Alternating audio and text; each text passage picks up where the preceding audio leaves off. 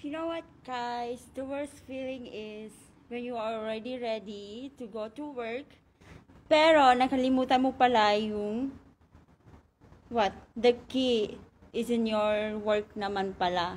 Kasi kagabi pa yun eh.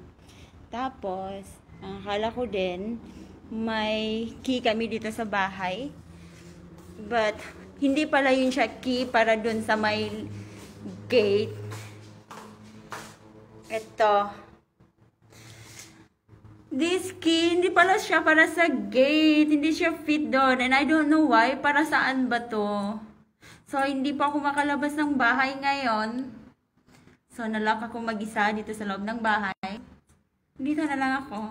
And I'm so thankful na tinawagan ko na yung manager namin kanina. Sabi ko, hindi na ako makapunta ng work. So, anong gagawin ko? But thankful, pinigyan niya din ako ng off today. See? Ready, ready na sana ako eh. Nakakainis minsan kasi ah uh, ako nagmamas sa loob ng bahay? Nakakainis minsan kasi ayaw. Wala naman kasi magawa dito sa bahay. Wala tayo sa kwarto, magkaraoke na lang tayo dito.